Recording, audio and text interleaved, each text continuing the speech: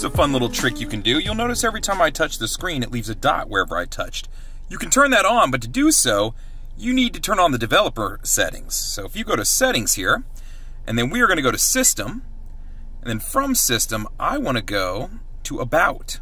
You'll notice I have developer options already here. You won't have that yet, but if you select about, scroll down to the very bottom, and then start tapping your build number. You're going to see it start counting down there. I believe it's about eight taps, and once you get to it, it'll say developer mode enabled. After that, you'll be able to back out and select developer options. Now, in developer options, you have a plenty of different things you can look through and play with if you'd like, uh, but if you'd like to turn on the dot like I have, you're going to scroll all the way down into inputs. And it's where it says show touches, select that and turn it on. Once you've turned that on, now, whenever you're touching on the screen, you'll notice it leaves a dot wherever you were. So you get in your car and your parking brake is on. You'll notice it's on up here. So the first thing you do is you start your car.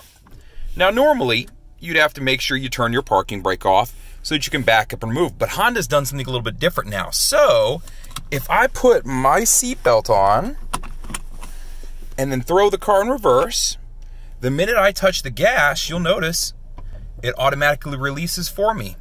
One less step you have to take. All right, so let's say you come out to your car and you go to open the door locks and you realize it doesn't work because maybe your car has died or something has gone awry. I'm gonna show you not only how to get in the car, but also to get in the trunk. Now remember that the trunk is electronically connected inside the car, so it wouldn't normally open um, if you couldn't use your key fob or use the vehicle. So the first thing you're gonna wanna do is get your key out of this slot in the back here. So if you slide that, you'll notice that you can slide this out and a key will pop out.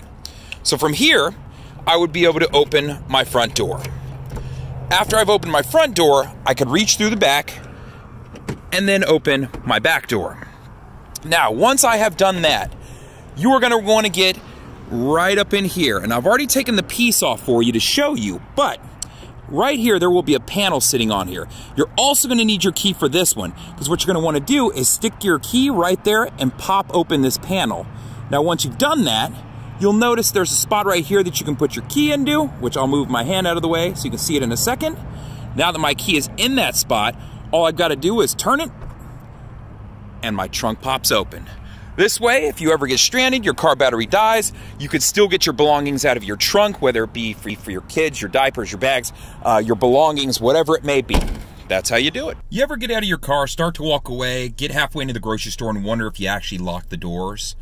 If you're that person, this is a great one for you. If you go to settings, and then from settings, we're going to select vehicle. Now under vehicle, I want you to go down to door and window setup. And then if you scroll down, you're gonna see walk away auto lock at the very bottom. This is currently turned off. If I turn this feature on and hit save, what this means is the minute I get 10 feet from my car and I have my key with me, it'll automatically lock the doors.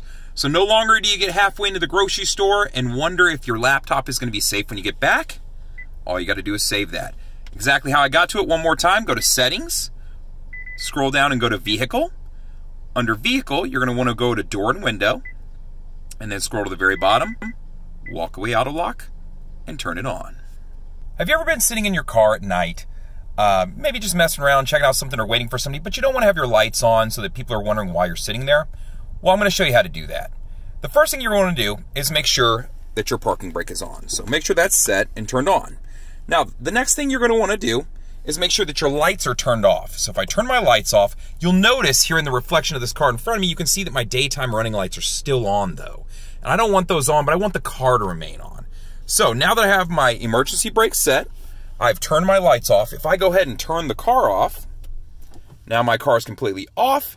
If I start the car back up, now I can have my car on with the AC running, listening to my music, whatever I may need to do while I'm waiting, and you'll notice that you don't see the reflection because my daytime running lights aren't on.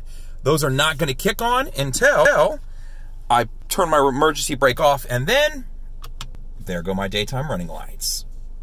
So I'm looking at the left side of my screen, and I can see my tachometer, but the minute I go to search, my tachometer disappears.